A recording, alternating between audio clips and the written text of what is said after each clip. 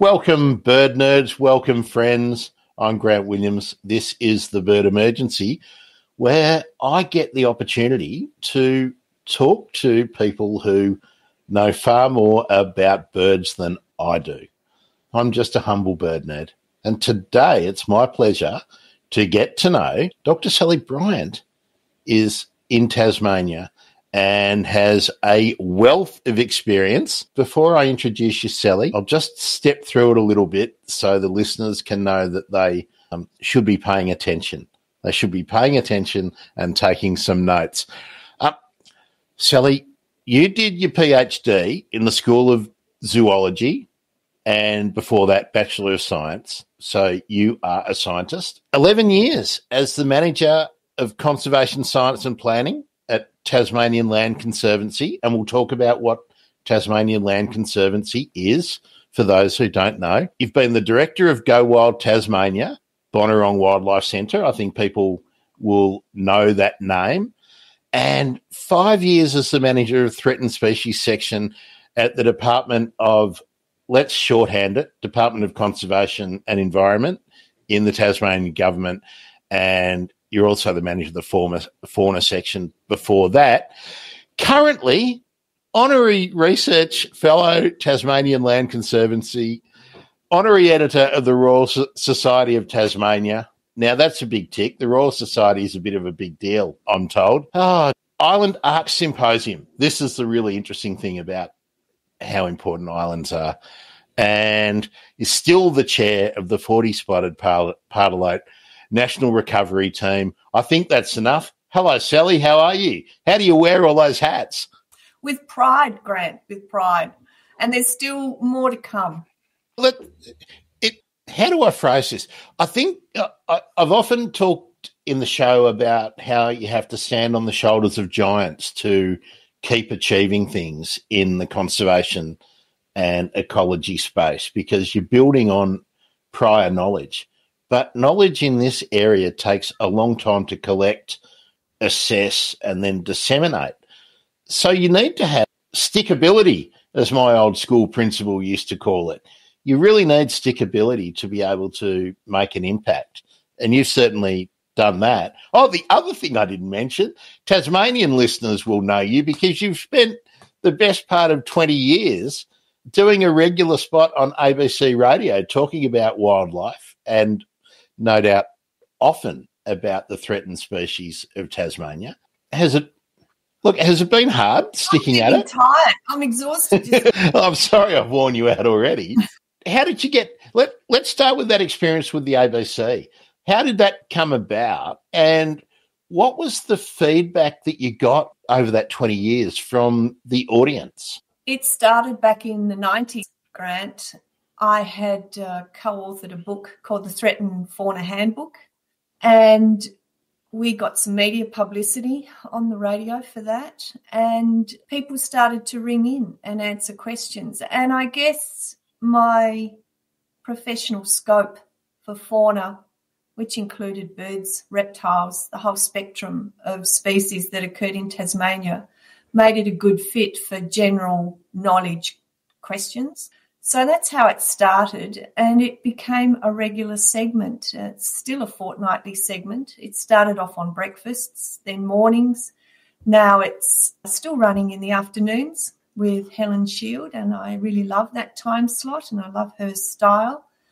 And I think the success of the program, Grant, is not so much me or my response to questions, but the fact that most people are so fascinated by wildlife and want to know more. So it's continued on for a long time and hopefully for more to come.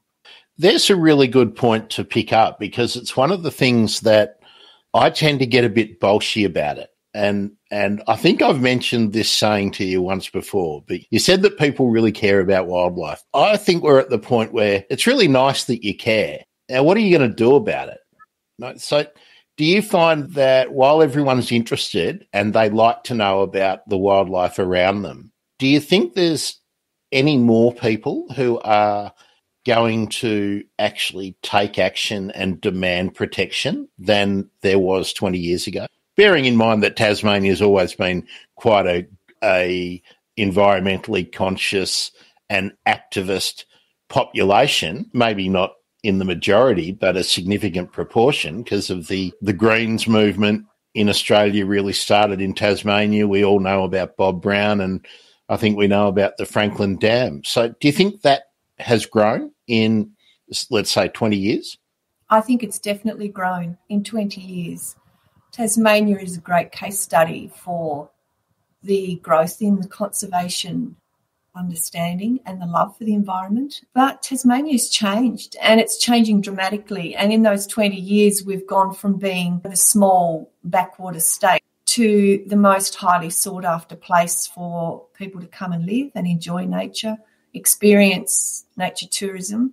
So it has, it's rapidly transformed in 20 years. We've had a whole cultural shift and a change in how we see ourselves and how we see our state. Education grant is a fundamental platform. I often think that for conservation, protecting habitat is a fundamental plank, and education is a fundamental platform.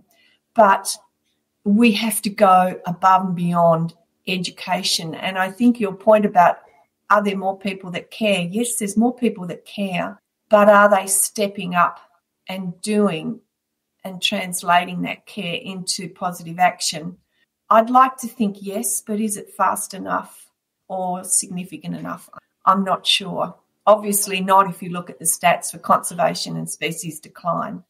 No, and look, I hadn't really planned to go down this route, but I think it's really interesting to talk to you because you have been a communicator in the general sense, getting out, talking to the general public rather than just talking to the I don't know, I hate using the term. It's really easy to group people together like the intelligentsia, the wildlife, the ecology, the biology club, so to speak. Do you think there's actually an, an awareness of how bad, how dire the situation is for some of these icon species? One of the major lessons I've learned through the Wildlife Talkback grant is burnout and turn off by people that see conservation as continually a bad news story and loss of hope. It's always about death and destruction. I used to laugh when I managed threatened species for the state government. It was always about death and destruction and loss. So I think people do become very worn and bitter. And sometimes what you need are a few good news stories. The success of the Wildlife Talkback is keeping that talkback positive so that people stay engaged, but trying to drop into the message. Some little gems about things you can do and changes you can make. And at the end of the day, what's transforming conservation consciousness is climate change because we've now moved into an era where we are thinking about large scale impacts that 20, 30 years ago weren't on our radar, but now they are. And so people are a little bit more tuned in to some of the threats that are occurring at a much more rapid rate. Let's try and let's try and stay positive because sometimes I do get a bit doom and gloom because I'm I want everyone to hit the panic button, not to to be saying that everything's bad, but that we actually have to take action on the things that we know need to be done. So give give me a couple of glimmers of hope about your patch in Tasmania. What are some of mm. the the positive steps that have been taken that have got real successful outcomes mm. that we can point to and measure? The private land sector. My time with the Tasmanian Land Conservancy, when I managed the science program, and I'm still a research fellow there, and very strongly connected to that organisation if you want a good news story and you want hope that in Tasmania there are organisations supported by people both on the ground, volunteers, philanthropists, backers, through smart business that are making positive and significant changes to the state of the environment in Tasmania. Look in the private sector, look in the private conservation sector. All over Australia, the growth of the private conservation sector has set a new standard and shown government what is possible. That gives me hope. For people who are not familiar with how the private conservation sector works. Can are you happy to talk about the Tasmanian Land Conservancy and w- what it is, how it operates, and oh I don't know, is it superior than the traditional government state park, national park model? People can get onto the uh, website of the Tasmanian Land Conservancy grant and have a look at their latest annual report.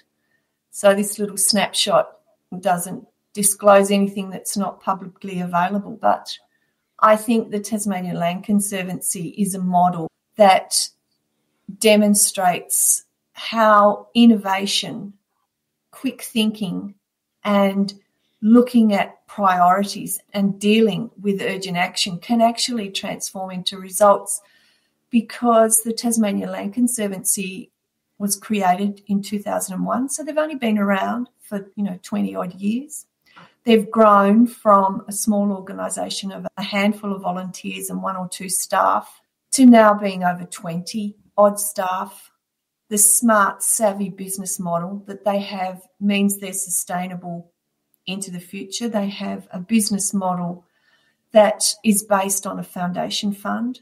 And in 20 years, Grant, they've established now over $16 million in a capital fund that allows them to run the organisation and to grow the organisation. They have held campaigns for the acquisition of land, and this is often land, private land that adjoins public reserves that acts as a corridor or a buffer, or it holds threatened species that are otherwise not in public reserves. So their private land reserve system, which is now permanently protected by covenant, I think is about 25 reserves, stems 20,000 or more hectares. So that's pretty impressive stuff. And it's done in collaboration with other partners, but it's also pure leadership and innovation. Now, with that significant amount of land being added to, we can't call it the national estate because it's not. Is and it? in fact, one of the reserves of the Tasmanian Land Conservancy grant have World Heritage status. They're not small reserves; these are significant parcels of land. Yeah.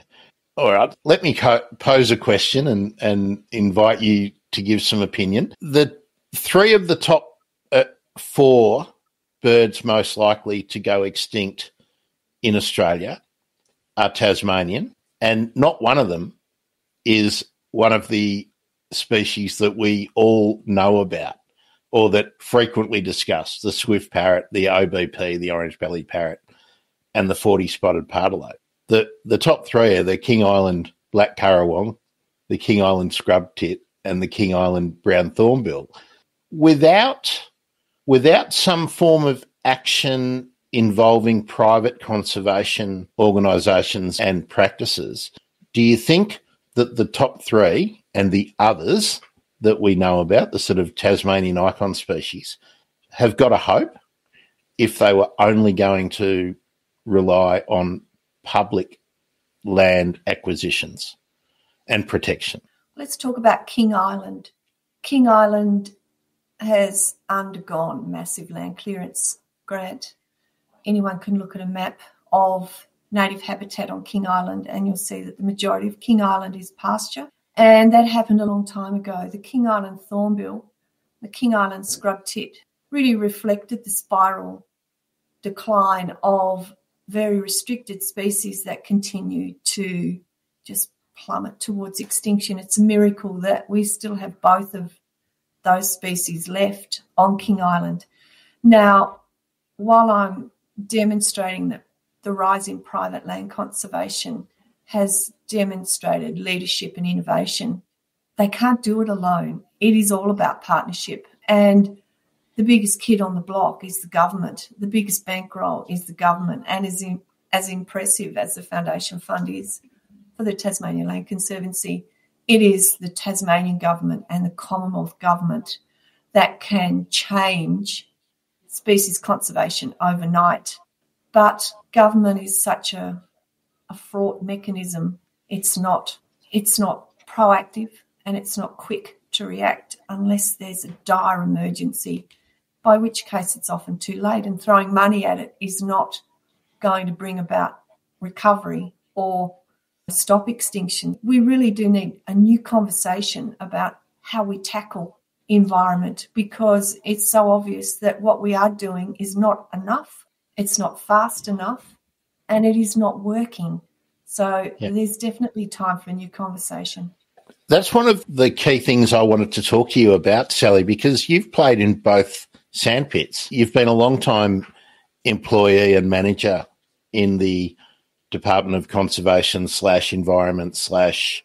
Had they merged forestry and and agriculture into it when you were managing it? I mean, it and now being a, an, a manager and an advisor to a private group, do you think that the government side is ready for a new for a new conversation and a new way of doing things, or are they a, a fair way behind? Oh, they're a long way behind.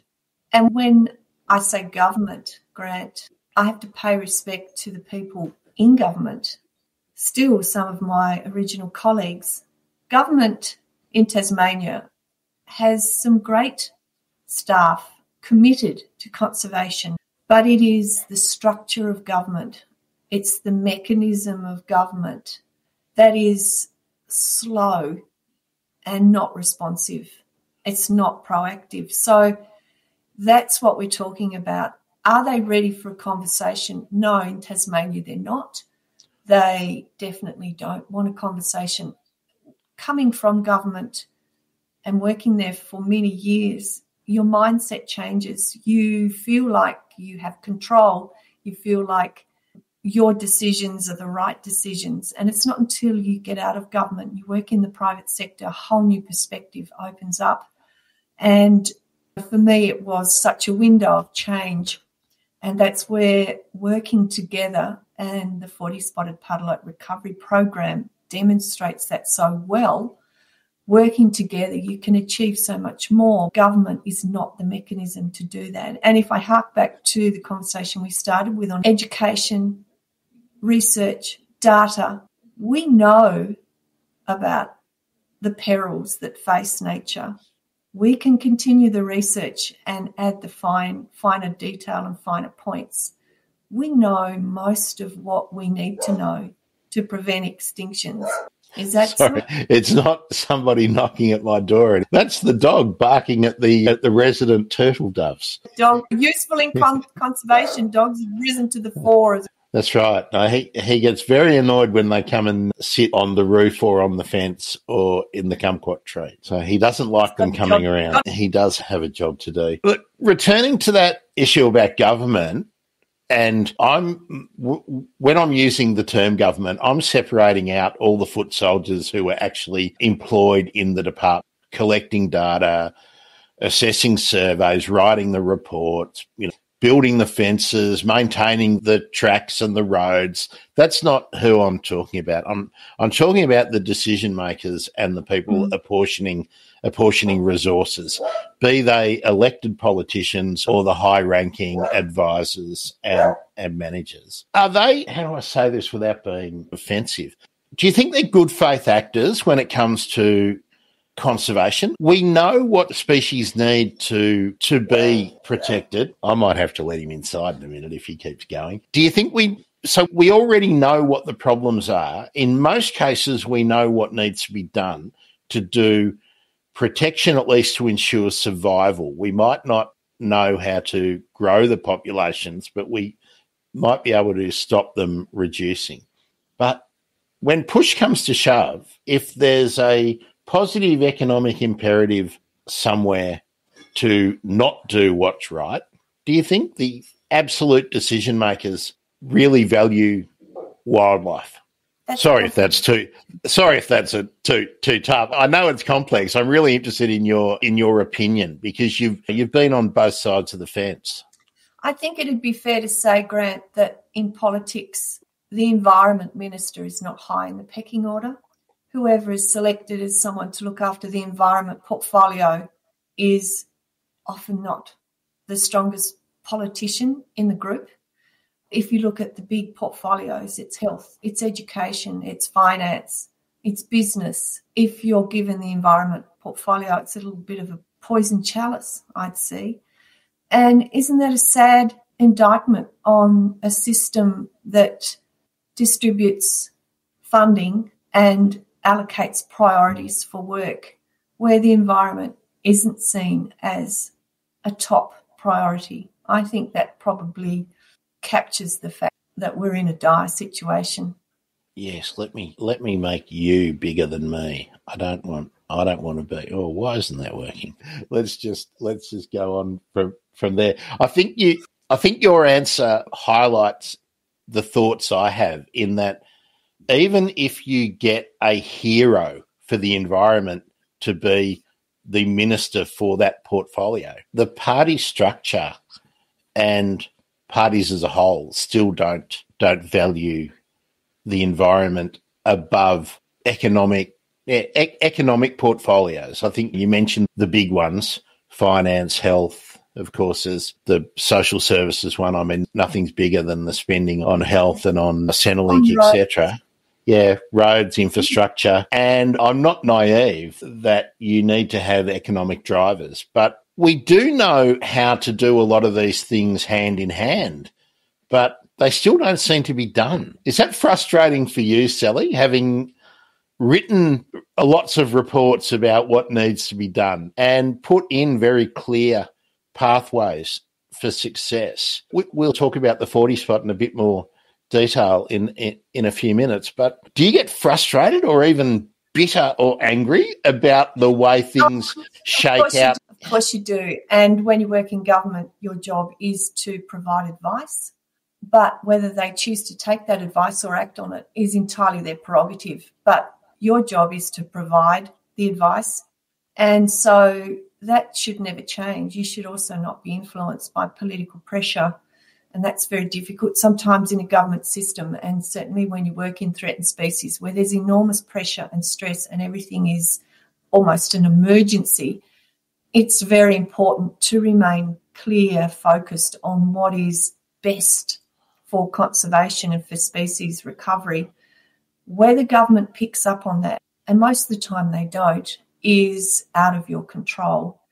You can choose to go into the private sector, you can choose to rally or protest or riot, and all of those mechanisms do and are really important but as a public servant, that's your role. So I don't regret the years that I had in government. In fact, they were foundational years for me, and I wouldn't have changed what I wrote or how I operated. I guess the frustration is that the slowness of the system to change means I've spent 30 years doing that, and now there's not another 30 years to creep forward.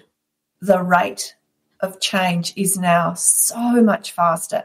I don't have either personally or professionally another 30 years to try and change the system. So I need to be doing things far more smarter, far more proactively. I'm a little less careful about what I say.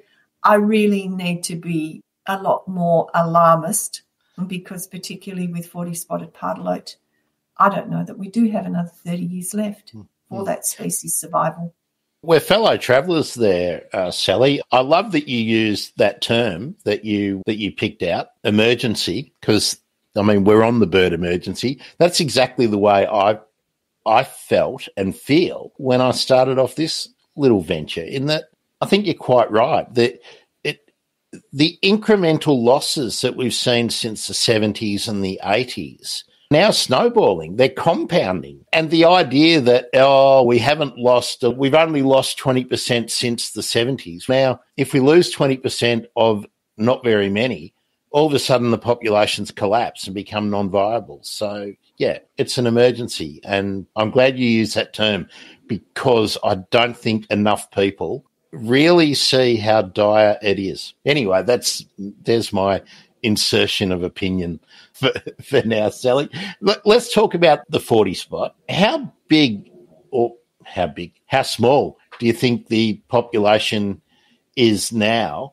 And how does that compare to the last time that the recovery plan was published? The last recovery plan was published had a lifespan between 2006 and 2010. We are now rewriting a new recovery plan grant. So we hope to hold some workshops maybe next month and get uh, specialists involved and community input and have a new plan ready to go for the 40 spotted pardalote.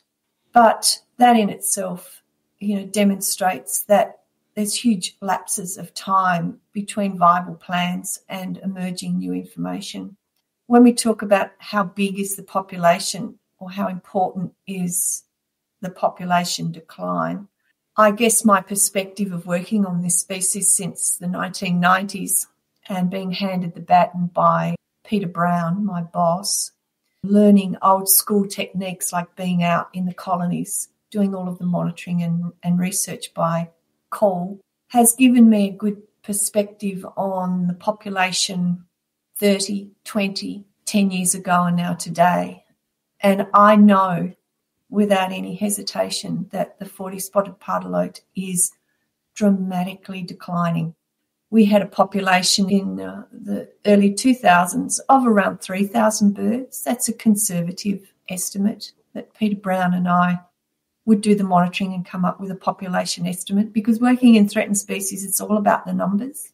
It's all about the rate of decline, total population size. Everybody wants to know how many are left.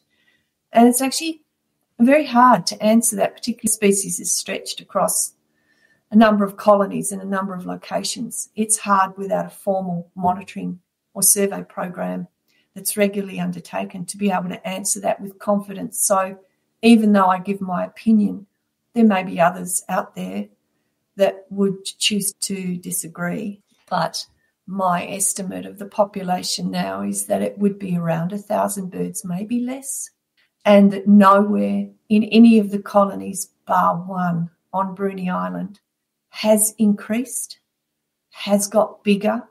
They are all in decline.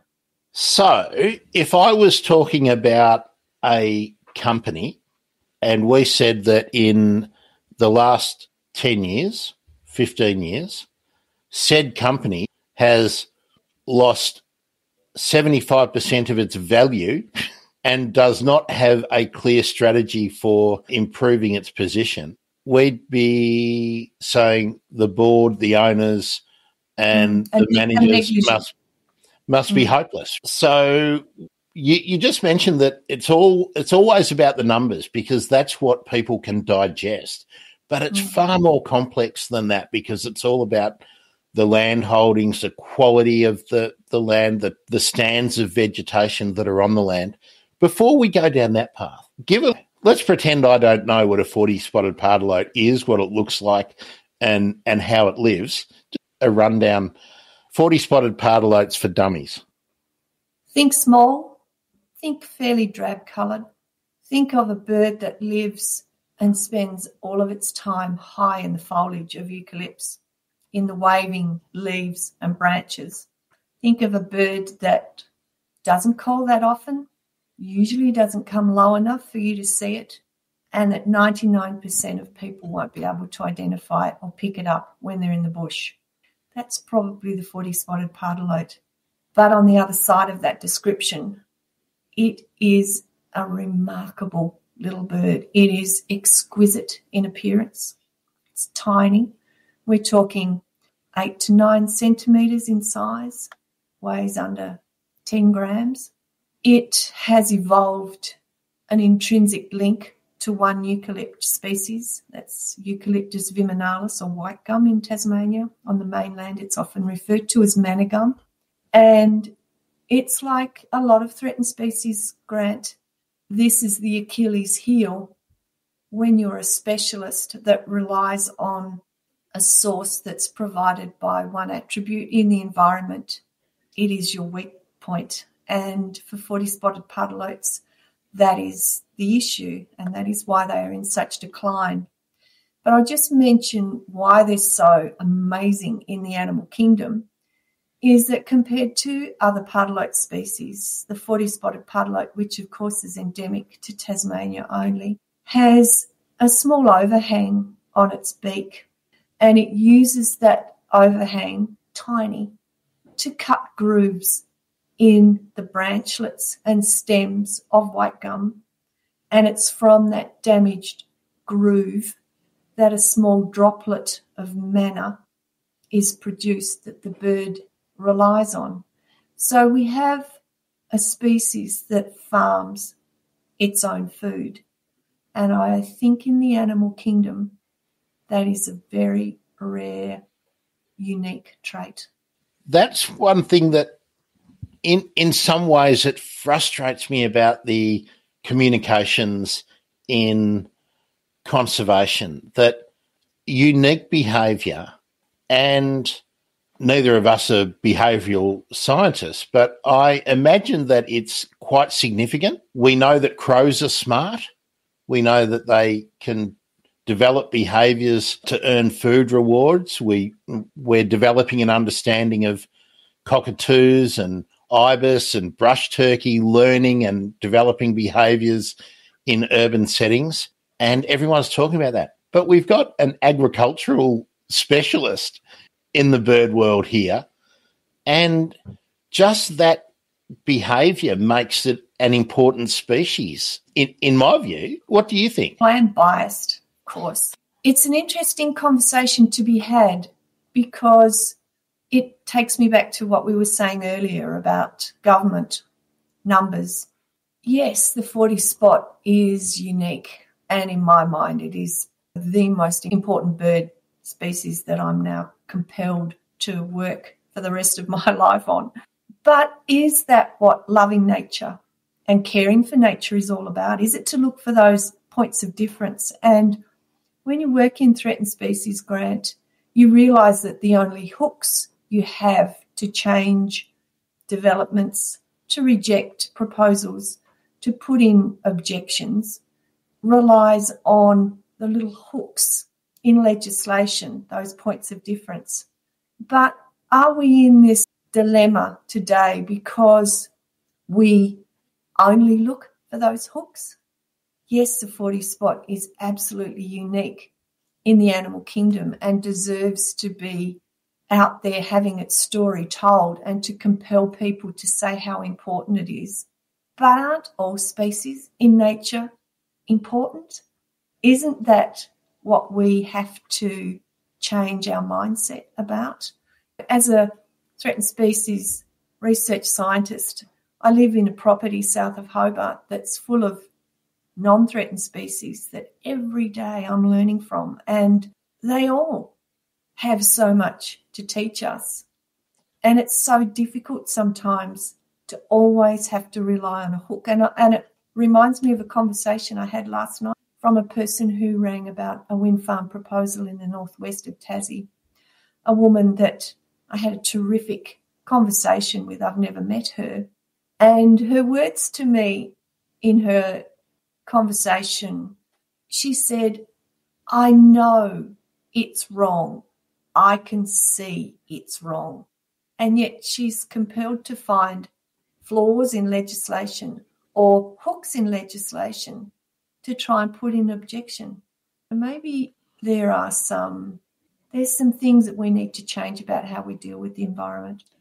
One thing that that always frustrates me is where we talk about development where we always ascribe a number of jobs or a value to a project or some economic activity. But what do you think the impact would be on Tasmanian tourism that sector if the Swifty, the Pardalote, and the OBP were no more, and that the habitat that they rely on has been denuded to the point that it's no longer special. It's not something that people from the mainland or for the rest of the world would come to see, especially to see. That's the point I make. They make a special trip if everywhere is lovely rolling green hills and dairy farms, or suburbs containing large hardware barns and strip shopping malls, who's coming? So that's a complex question, Grant, and there's a, a lot of layers on how you would respond to that. Tassie has a great influx of nature based tourism. I would say that bird lovers and bird observers are a component of that. And they're attracted to Tassie by our endemics and the hopes of seeing some of those rare species, including 40 spots. And the Bruny Island has been the focus of bird tours. But you forget Tassie has had major extinctions in the past. People don't come here and say, actually, I'm not going to go to Tassie because the thylacine's extinct or the Tasmanian emu's gone. If we lose the scrub tit and the King Island thornbill off, I don't know that people will stop going to King Island. Nature based tourism is all about scenes, it's about boutique food, it's about fresh air, it's about seeing bush. Knowing what's in that bush and how that bush is being managed is a whole level of complexity that I don't know a lot of tourists go down that track? Mm. I don't know. It, they're very complex arguments, but certainly money, the money that is injected into an economy through nature based tourism, if that or a portion of that could be directed towards species conservation or community vegetation community conservation, wouldn't that start to open up a whole new conversation about why people come. Yeah, that that idea of communities, vegetation communities, and and habitat generally, I think doesn't get pushed enough because we are then passing from that discussion. We're talking about the numbers, aren't we? That there are there's this many native rats, there's this many possums, there's this many stems per hectare of this eucalypt, and we we're assessing the quality of habitat by these whole lot of individual measurements. And while they're important, the intact habitat is infinitely more important than any one species component that, that dwells within it. And I think too often they're pulled apart rather than the discussion is ha- is had with the two elements at the forefront, if you can have two elements at the forefront. I guess one's always well, got to be at the in front of. That, let's continue that thought using the forty spotted pardalote, which is a great case study for all sorts of discussions. And habitat is a classic.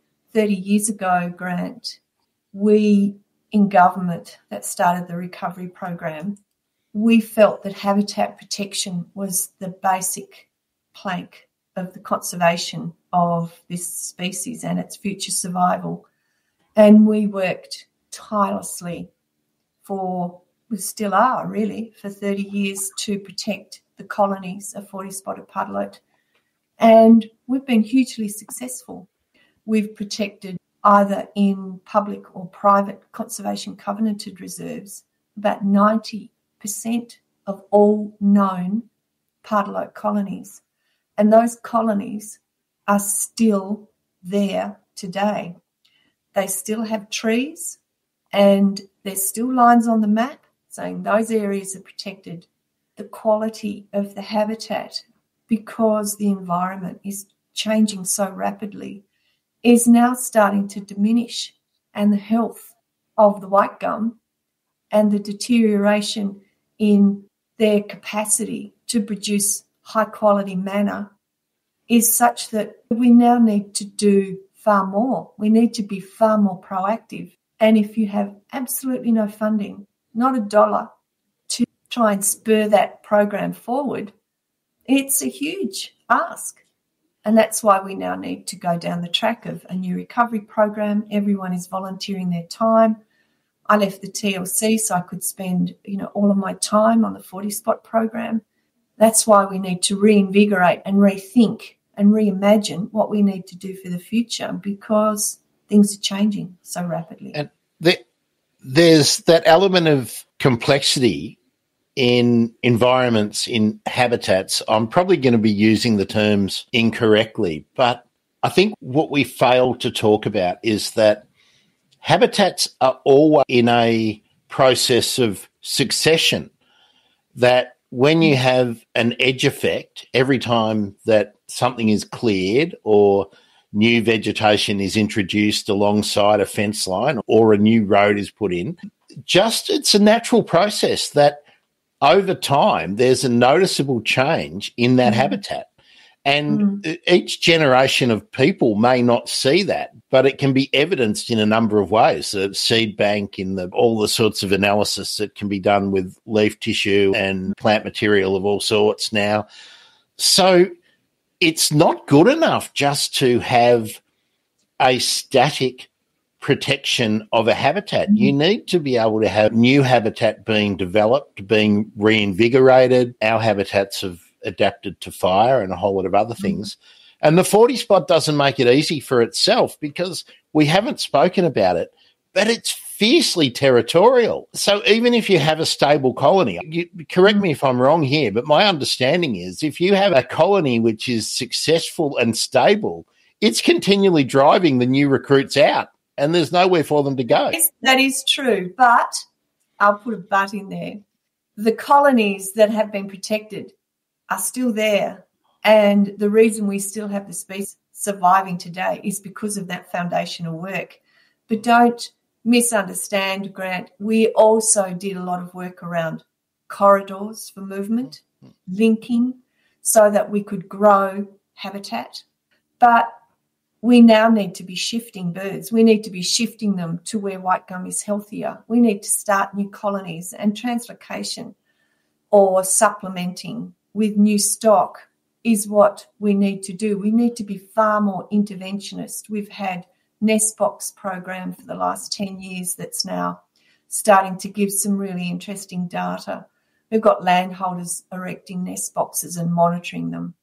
We've now got a monitoring program in place to look more closely at birds where they may be coming up in new areas. So you are correct. It is the basic life history and ecology of the pardalote that makes it tricky to work on it. And some might sit back and say, hey, you protected 90% of the known colonies. What more do you want? We want a lot more because you don't just build a house and go and live in it and not expect to do maintenance. You don't just think that house is going to stay in place for the rest of your life without ever doing anything to it or patching the eaves or when the roof becomes loose or the walls start to crack or leak. There is so much work to be doing. And that's what I mean about the mindset of nothing is ever finished. You can't just breed orange bellied parrots in captivity and keep pumping them out and think that's going to solve the problem. There's a lot of information, good information, that tells us the directions we need to go to make sure the 40 spot, which is very tenacious for a tiny bird, and pardalotes are a very tenacious and hardy group of birds. So we know what is needed to protect this species. We just need some resources and capacity to start doing it. And in terms of a bird which is about the size of a computer mouse, but less that's fat, that, that's right. Yeah, certainly half the weight, but they're, they're tiny things, but it, in their own sort of weight for age division, they're pu- amazingly pugnacious. Their tenaciousness, Grant, that is the reason they are still here today. And they are a survivor. And with a little bit of help and proactive work from us, they will continue to survive. But that's got to happen now because they don't have 30 years to wait. Imagine if they were the, the same size as a rainbow lorikeet. Could you imagine a cage match between a, a pardalote and a rainbow lorikeet? I reckon the bully boy lorikeet might have a, a, match on his hands. A lot of the monitoring sites that uh, I do for 40 spots, Grant, are now full of rainbow lorikeet. It's such a an invasive species in mm. Tasmania. It has just dominated the southern areas and the sectors. It's on Bruny Island now. It's on the southeast of Tassie, all down Tinderbox Peninsula, Kingston House. Picking it up on Maria. It's on Flinders Island. It, it is so successful. Those traits are, are very dominating. We probably need to talk about that in a different in a different episode because that puts different pressures on I'm not sure whether it's the 40 spot but certainly I would imagine that birds like the swift parrot could be driven out of prime habitat by yeah yeah yeah but let's talk about some of those particular aspects of conservation with the 40 spot that you, you talked about. Let's talk about nest boxes to start with. Nest box production, design, placement in the environment, and monitoring. You you touched on all of those. Can you tell us which bits are important, which bits have been successful, and what's what do you see will be growing in the future? Let's again look at the rainbow. Well, nest boxes. Let's let's talk about nest boxes and 40 spots. We've really ramped up the nest box program for 40 spots. And in the early days, I have to admit, I never thought hollows would be a limiting factor for a tiny bird. Even with dieback or broken limbs on white gum or any eucalypts, I felt there were plenty of hollows for 40 spots, but that's that's not the case. And we have really proliferated the number of nest boxes that landholders now with protected colonies are establishing. The actual design is now well proven. The quality, we're spruiking that boxes have got to be the best quality, how they're attached, and then collecting the data. So that's a, a big thrust of our new recovery program. And that's what we're doing as volunteers. And I run workshops, and I particularly run workshops for land for wildlife property holders that are already conservation focused the thing with 40 spots is you can put up nest boxes in potential habitat, but you really need them in existing colonies because that's how they expand. So you've got to get them used to using nest boxes. It can take some time. So people will often put up a nest box and say, "Wow, nothing's using my nest box." It's a real downer.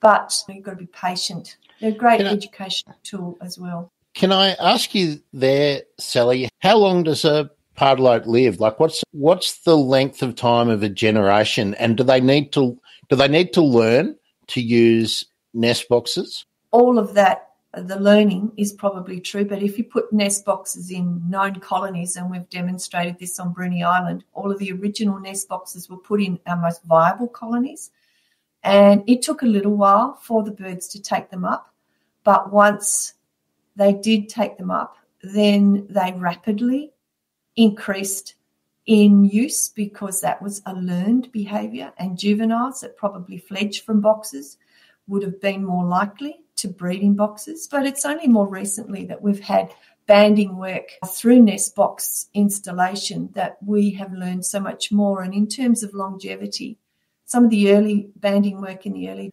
suggested that 40 spots could live somewhere between 12 and 20 years, which is a, a really long time for a small bird. So that's several generations. They're, they're quite hardy and stable, but it hasn't been until quite recently that we've had any returns on bands or been able to get any idea of longevity. Once juveniles disperse, they may not come back to the natal colony, so they can be very hard to pick up. And even seeing them with a leg band is uh, tricky given their size. Something I wanted to ask you as a result of what you told us then, the monitoring of boxes. Is that monitoring, the placement of box of boxes and the ongoing monitoring perhaps the most expensive part of of the conservation effort, apart from land purchases? But not just anybody can get high up in a tree and hang a box and then collect data. So mm. it is that a limiting factor in the ongoing conservation efforts? Like, what sort of oh, proportion of a budget would would would that be? Because it always comes down to dollars. We've got to talk about the numbers of the population, but then there's that management of the population, mm. which is a limiting factor for decision makers, I, I imagine. So, well, we, we can talk about the dollars because that's a very short conversation. Uh, there isn't any okay. funding. There's no money. Okay. But you can actually do a with nothing for a short amount of time. It's not sustainable. My, energy is wearing thin. But in terms of boxes, Grant, Bruny Island is a terrific example of the men's shed that build boxes and supply them to the Bruny Island Environmental Network. Landholders pay a small amount for a box, but you're right, it's a specialist skill to install the box. We run workshops, and there have been small grants to employ arborists and professional tree climbers to put boxes up for landholders, often an extension ladder to cut it. We don't want any other deaths while we're trying to save this species. So you're right. when you don't have money and you don't have funding, it's hugely problematic. Nest boxes are but one tool, as I said before, and I haven't really mentioned the perilous state of birds on Flinders. We need actions to be restocking. So we need a translocation plan. We need project staff. We need to be consolidating data and getting information out there. We need the whole recovery program to be ticking along as a well oiled machine. But it's hugely difficult when you're relying on volunteers who give so valiantly and freely of their time and expertise. You also need money, and uh, that's firmly on my radar for this year. The volunteers needed highly skilled, and certainly the tree climbers and, and arborists in high demand doing other jobs. So it's asking a lot for somebody to be involved in the, the program because hanging the box is only the first part of the story, isn't it? You, you, need to be collecting the data to keep learning, and then you need to be doing pest control and, mm. and things like that if required. So it's not isn't like someone can. To land is all about though, and isn't oh, that a fundamental part of the success of the Land for Wildlife programs? You've got people that live on the land, that care about the land, and are willing to do what is needed to look after those species. So, covenanted properties on private land and land for wildlife program gives you a repository of people that are already on board and willing to assist. Now, that's not saying they don't need some financial assistance. If we had financial assistance to help, it would be even better. But at least we do have some basic mm. actions. It's amazing that so many people are always involved, but it highlights one of the problems that is developing in government, in societies like ours, in all walks of life. We are now, even though the tax take continues to increase, the reliance on volunteers in all areas of service delivery is growing. So you've got to think that the government is actually being less effective with a greater take of the of the money, which. Uh, well, two of my observations in recent times, Grant, and that is the stigma surrounding the word retired and volunteer. And there's a lot of negativity because actually, I should have also mentioned citizen science. There's three elements there that carry a lot of stigma. If you're a volunteer it's almost like you're giving freely of your time, but it's a job that paid professionals really haven't got time to do. Therefore, it's a diminished job. If you're retired, then somehow you have the crocheted rug and you're brain dead and you really haven't got much to contribute. That's another myth. And citizen science, the growth in data collection and citizen science. And I use nest boxes on private land, but also our monitoring program and the collation of data that comes from using motion sensor cameras. It is long overdue where we have not been engaging people in collecting data because it's sat in the realm of professional science that have guarded data and not shared data because they need to publish scientific papers or research reports. And I was one of them. Now data collection and the simplicity of making sure that information is given and handed out and used to the best of species conservation. Three areas that we really need to be ramping up and change the, the stigma surrounding them. Sally, if you've listened to any of the shows already, you know that I'm a great lover of citizen science. I think I think what Wedgie, what Claire's been building up there is terrific and there's the bird count. Canada have just had theirs. New Zealand have had one. India. It's so good that the data is being collected and that is being shared widely and that new people are being getting involved in ongoing conservation efforts and they can look back and see the story and they can see whether it's a good story or a not so good story and what needs to change. So that's a key plank of conservation. But at the mm. same time, it's a double edged sword because the more volunteers you have and the more citizen scientists you have, the more government says, what do we need to pay for anything for? Uh, mm. Uh, which. So, what's the answer to that, Grant? Do we do nothing? And then blame the government when a species goes extinct because they didn't give us any money. No, no, we, we do what we're doing now. We get mad as hell. We do what we can. And yeah. It does open up a conversation if I just butt in there again, and I'm conscious that we've probably outrun our time. But the instability of funding has been another disaster in the conservation sector. Most people working on short term contracts, research programs in academic institutions that don't go beyond two or three years. That lack of certainty and stability in funding is a curse, and you can't survive uh, any long term program without secure funding. You can't run a business without that. And uh, I mentioned the TLC and the way it generates its own money through innovative business programs and its economic model. We need to really shift uh, the way we fund conservation in Australia. Maybe we need a foundation fund that sits outside of that is contributed to by the population that provides a bucket of money that can grow through business investment, but fund programs as well in long in a long term fashion. There's a lot of these conversations. They're not new. They haven't had traction, but it doesn't mean they're not good. I think I think people don't understand how little money is spent on conservation and how little money it would take to actually make a big difference. Now, I'm working off memory, but I think in the recovery plan that you largely put together, Sally, that the actions to that were required to, as was known and when the recovery plan for the 40 spot was put together, was going to cost something like $270,000 a year. That's two and a half wages for a junior accountant. So that's less than the cost that it takes to, well, probably less than the cost that it takes to operate a milk bar, the corner milk bar. When you look at it like that, we, we have obligations under legislation to do the protection. But you've just told us, Sally, there is no money for the placement of nest boxes which work, and mm. there's no money for from the government to buy habitat and protect it.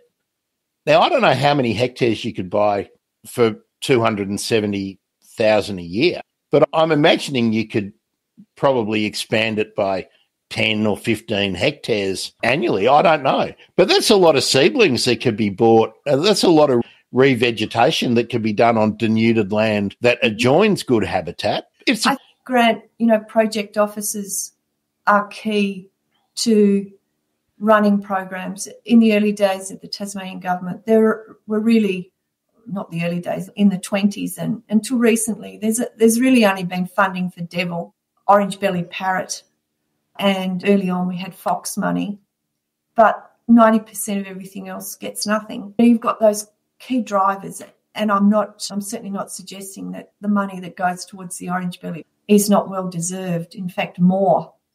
The more you throw at the orange belly parrot, the more you need. And it's typical of if you've got a well run program that's achieving results, it does cost money. And I, I don't know why we don't fund some of those recovery actions because with 40 spot grant a lot of the land protection and colony protection that we've achieved for one species also protects swift parrot. All of the land protected on Bruny Island most of it is full of blue gum protects swift parrot. It's not just a single species recovery program. There's a lot of dual benefits. What frustrates me a little bit Sally when we talk about the sort of higher level conservation efforts needed is that we don't have champions in the in the administrative and the political stratas.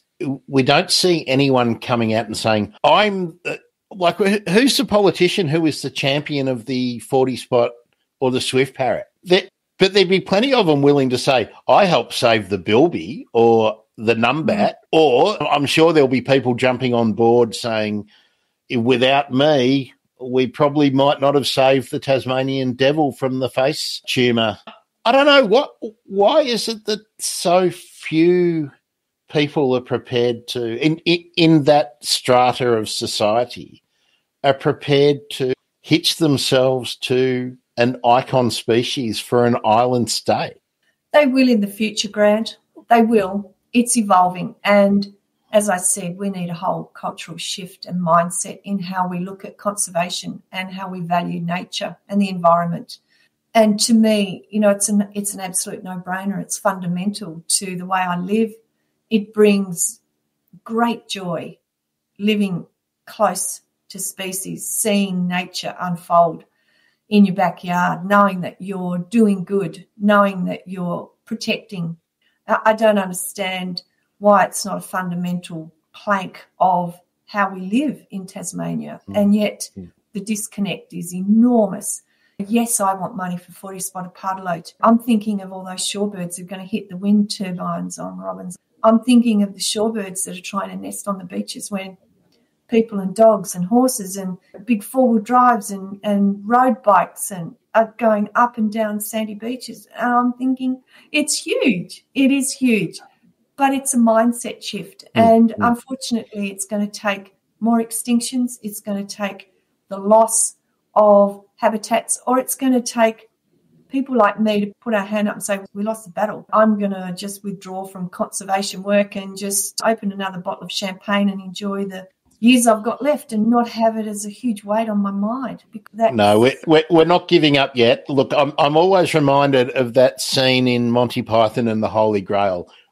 I feel like the conservation warriors with a public profile are like the knight who is saying it's only a flesh wound. It's one arm goes off and one arm goes off and then the leg goes off. But hopefully, with the advances in surgery, the knight can get up and walk walk away these days. And hopefully we're going to get to the stage where enough of the community informed enough that they're also on board because that issue you talked about with beaches and horses and four-wheel drives and dogs most of those people would probably be sympathetic if they had any idea of the damage that is being done.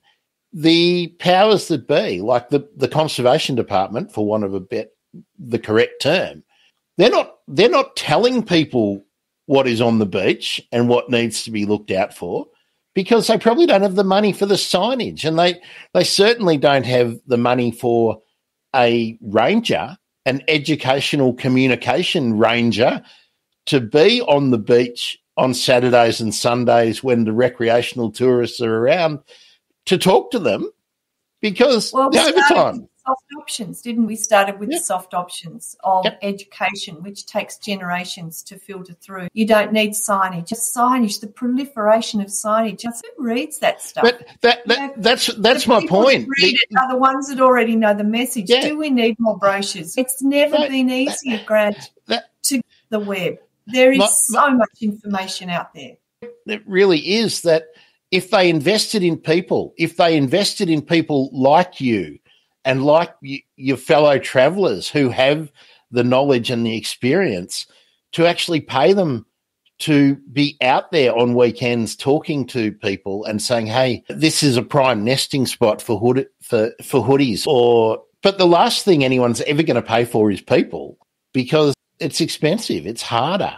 It's harder than putting up a sign. How interesting is that? I remember when COVID hit, Grant, it's almost as if the government were printing money yep. came well, from everywhere. Where did that, that money? But that's the point: is that we don't see the value in the environment around us unless we can directly tie that spot of ground and that activity that happens on it to a specific economic outcome. We're not looking holistically, and and I think that's really the point. It's that, a flaw in the human species, yeah. isn't it? Because greed and driven by economics, not understanding well, we, what sustainable means or putting any of those points into practice. It's a flaw in the human psyche, and it's yeah, it's causing our own demise, really, isn't it? Yeah, but we get pretty lazy too in that we like to think that it's for somebody else to do the job. And no, I'm sorry if you're listening.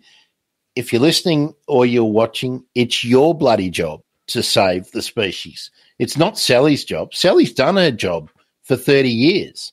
Kat Young is doing her job now. The the people organising the festivals on King Island and Bruny Island, are doing their jobs. They've been doing their jobs. Now it's your bloody time to do your job and agitate, get involved, educate yourself, write a letter. If you're angry about it, do something. Don't be one of these dickheads who 15 years down the track goes, gee, I wish someone did something about the swift parrot.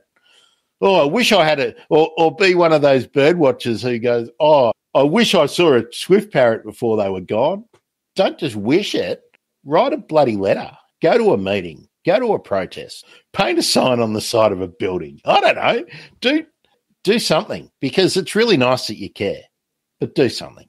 There we are. This message was written and authorised. Sally, what what have I missed in our discussion about forty spots that that we really need to take on? I'm really interested in Bruny Island in that it's the largest population still of 40 spots, intact population. Uh, Maria Island is so between Maria and Bruny, Grant, that's 99% of the population.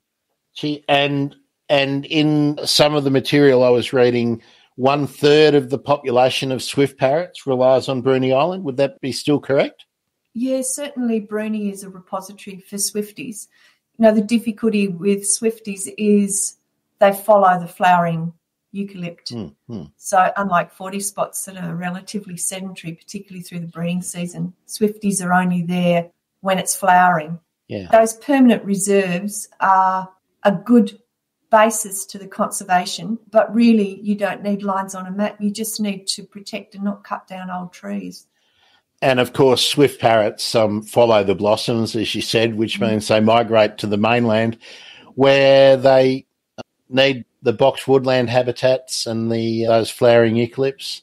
And of course, we're cutting them down, clearing the, the land at a rate of knots on the mainland, which means that they might have a successful breeding season in Tasmania, where you guys might be doing the right thing on maintaining those island strongholds, and then they come up here and they starve. So, um, good job, people. That's another recovery yeah. action that we could be looking at with both Swifties and 40 spots, and that's supplementary feeding. And it pains me to say that, but we need to become more interventionist. And with 40 spots, we've now looked at the chemical composition of manna. So we can recreate an artificial formula to mimic the manner and what it provides during the breeding season. So we could do some supplementary feeding if white gum are not producing enough food due to their own poor health, we can maybe start to assist that threat and try and reduce that threat, I should say. There's probably a whole lot more that we could we could talk about with those ongoing efforts. I think, Sally. But I just want to ask you about a couple of couple of the other threats to all of the birds we've been talking about. Let's talk about cats. What's the situation with cats in those stronghold areas of let's include those two species, uh, the 40 spots and the Swifties. Feral cats or even domestic cats are huge problem on Tasmania's native species. But for 40 spots, Grant, they're not a big threat, and that is purely because 40 spots and most pardalotes are foliage gleaners and they nest high above the ground and they live most of the time foraging in canopies of eucalypts. So it's not an easy spot for cats to predate them.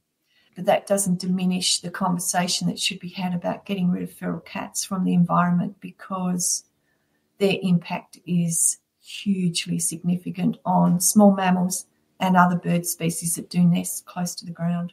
While I was trawling through all the information on the ABC has been really supportive of getting the message out over the years for Tasmanian birds. But possums and sugar gliders came up often discussion points for being threats to nestlings. Now, I know that it's not so much with the 40 spot, but is is predation by other native animals that doesn't seem to be a part of the normal run of things. Is that still a problem for let's say let's say swifties? particularly? My understanding of the Swift parrots is that motion sensor cameras have definitely picked up the huge competition and predation by sugar gliders, which were introduced to Tasmania. We've got good evidence that demonstrates sugar gliders were brought in the early days of European colonisation. That's well and truly been confirmed. The difference with 40 spots is again, I mentioned that they breed often in small diameter holes, which are too small for sugar gliders. It's likely that they can predate on any nestlings, not just swift parrots or 40 spots, but they're very gregarious and uh, predatory little possum sugar gliders. So whatever cavity they can get into, they'll turf out what is there. Brushtail possums is a different conversation. Brushtails are a whole different competitor in the landscape. They're hugely successful, very smart. Yes, they predate nestlings and chicks, but it's not the major part of their diet. And so, again, I don't have camera evidence that demonstrates that brushtail possums have had a major impact 40 spotted pardalote. We could mention that 40 spots have a parasitic fly that infests nestlings and causes the death of nestlings, and that's been confirmed now using nest boxes with cameras and checking. So, as the temperature increases and fly strike increases on pardalote chicks, that is an increasing threat that needs to be looked at. And there's some very innovative research underway with feather dispensers and looking at disinfecting the use of the interiors of nest boxes to prevent or reduce fly strike. There's a lot of gaps to be filled in, and we've got great technology now. We've got scopes, we've got motion sensor cameras, we've got nest boxes that can be checked and birds banded and videoed. So we are learning a lot more about those intimate. There's so many more things to talk about, Kate. I, I'm really interested in the the idea of disinfecting the, the nest boxes while they're being populated, that's that's a big step, isn't it? That's a really big step. Costly mm-hmm. too, I would imagine, per box. So then we should be putting a value on each nestling. Yeah, yeah. Yep. And you could you could uh, convert that into the tourism industry. How many bird watchers come here to see our endemics? That, what what economic value does that bring into the state, and how much per bird would that be? You can do all of that. We do need to do that. And perhaps we can have another discussion about that when we've done a bit more homework about maybe the methods that could be used, because I think there's a whole, there's a range of different ways that it could be done. Then we'd have to see who would accept it. Yeah, that's right. Absolutely. Pardalote credits. I, I, I like that. I like that. Yeah. Sally, are you optimistic about the next, let's give it a 10 year window for the endemic Tasmanian threatened species? Tassie has some good stuff going for it. We've got a terrific reserve system. We've got good private land reserves. We've got a growing conservation landholder community. That gives me hope. But what we have is a changing climate, which will bring with it a whole new range of threats, including more severe fire.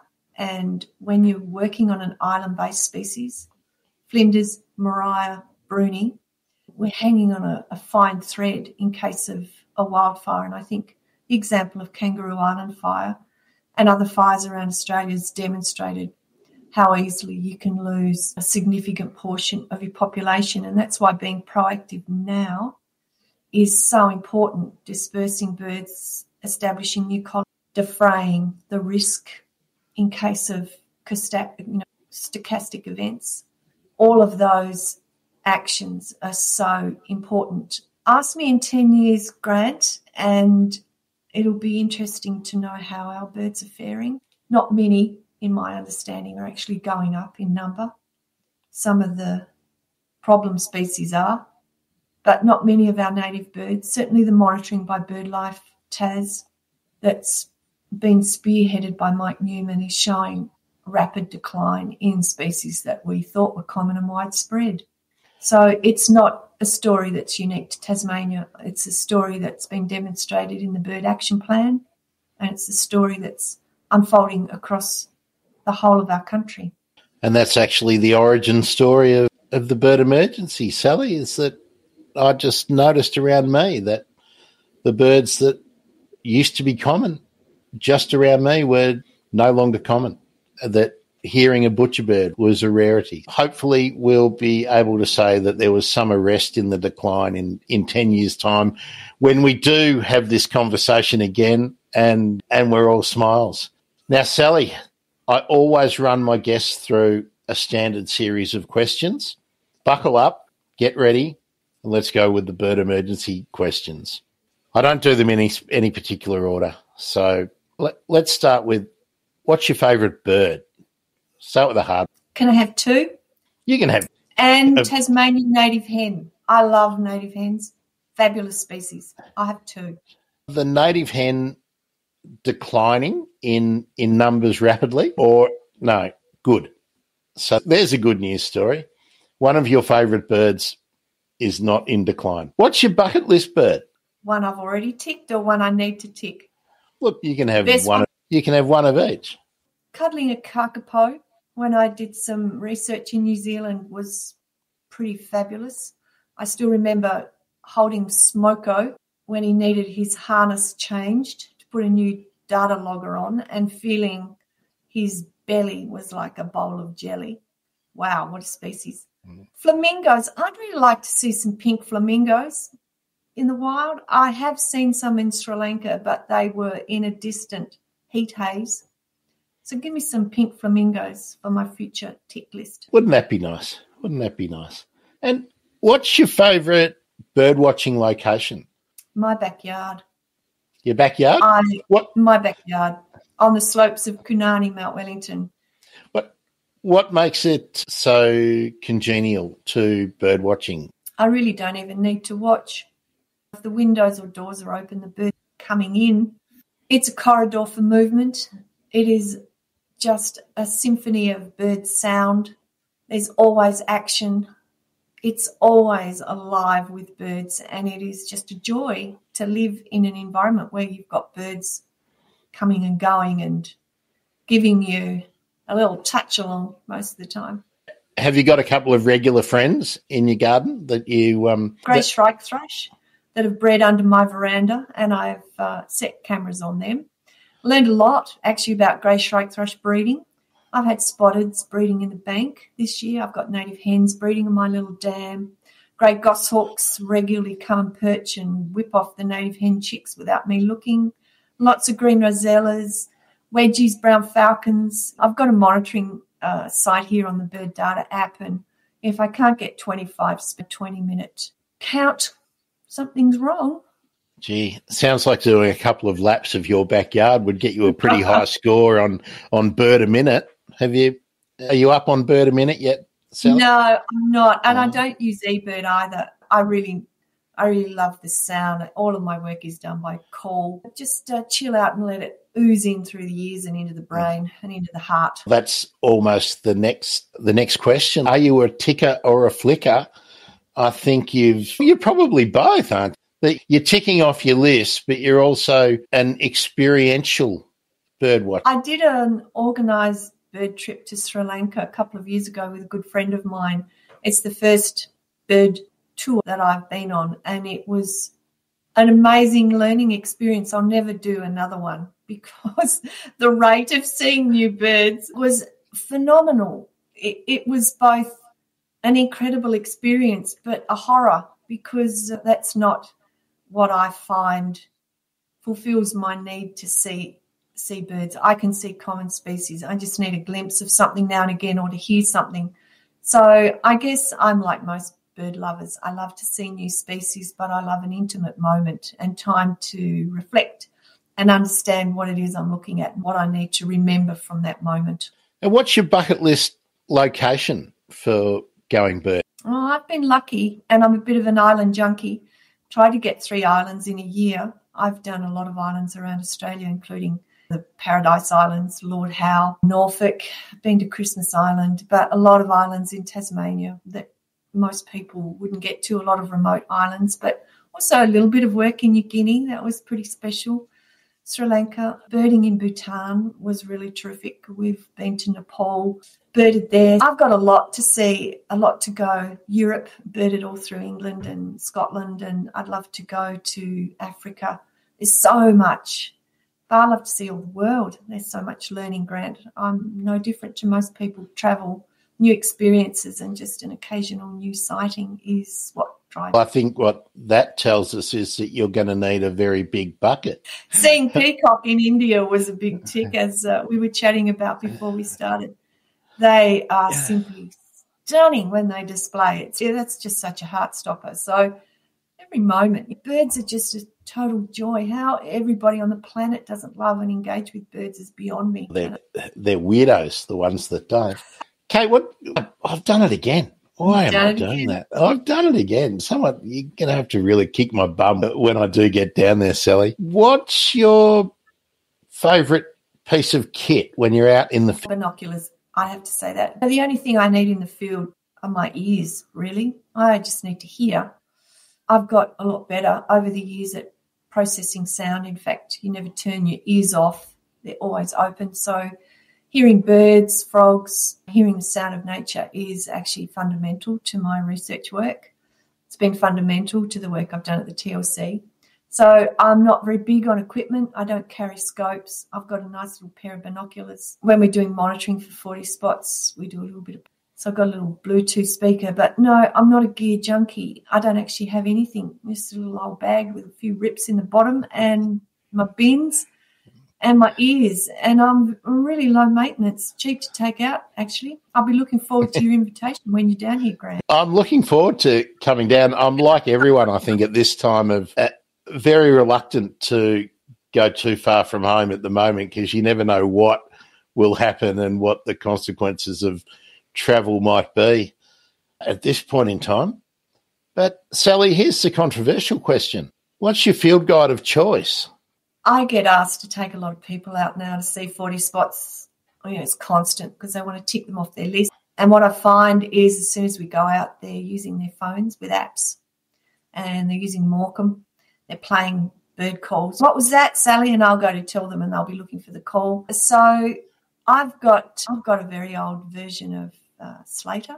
It's a little slim green volume. Sits in the pocket of my backpack that's what I use. I write in it. I use it as a notebook. It's well out of date, but if I want to check on taxonomy or anything newer, the old days I would have used HANZAB, but now there's so much information available. That's the one. I love that. Little- are. It's got an easy index in the back. So that's my field guide of choice. I don't know that I'm going to get a lot of ticks from younger people on that version. Let's reminisce a little bit there, Sally. Did you have the part one and part two of the previous Peter Slater guide? No, I didn't. I've only ever had one. Ah, I did was- have a lovely field guide uh, that one of my partners gave me. But when we split up, I put that in a plastic bag and put it in a cupboard. so I haven't used that since. So I started a new one with Slater. can't can't bear can't bear to handle it anymore. Sally, it's been it's been great to meet you and get to know the body of your work. I think we'll place you firmly in the middle of the of the bird emergency Twitcher bird watcher spectrum. That you're experiential, but you are maintaining uh, a list. Do you know your Do you know your life number? No, I don't. I don't. There we are. That that means you're certainly not up the extreme end of the spectrum. It's not very common that someone has their life number uh, to hand. I haven't got a I clue mind what people. mine is. I used to troll through the field guides and memorize names, species names, Latin names, what they were. I put in all that effort years ago. I, I, particularly young people, I really if they get right into list and ticking mm. and because it uh, focuses them right in on birds mm. and they're starting mm. to look for detail and looking for points of differences. I think that's a good thing, but it's not what drives me anymore. No, I think it's a beautiful story hearing what everybody likes and looks for as part of their hobby. For some of us, it's far more than a hobby. And I always envy people like yourself, Sally, who have been able to build a career being involved with nature. I think it's, I think you're very lucky people. Very privileged, Yeah. Grant. Yeah, yeah. And it's still Well, going. More to yeah, come. That's right. Really, a connection to nature and to the wildlife and the, the birds around us should never really end, should it? Should only end one way, and that's when it all ends. So there we are a touch of morbidity, but a sense of joy as well. Sally, thanks so much for being my guest on the Bird Emergency, and I really hope that our listeners and our viewers have got to know you and are far more curious and engaged about the amazing avifauna of Tasmania, especially the 40 spot. Be the friend of the 40 spotted pardalote, everybody. Thanks. See you next time.